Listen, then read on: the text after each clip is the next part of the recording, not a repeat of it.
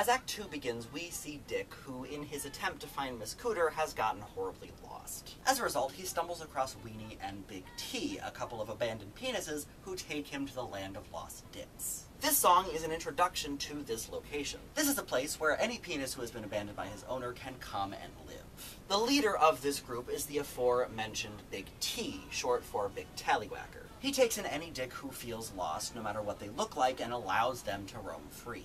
This is a kind of paradise to any dick who feels abandoned, which at the moment includes dicks, so he happily and readily joins them. So that is it for this song. Tune in in a few days for the next one. See you then.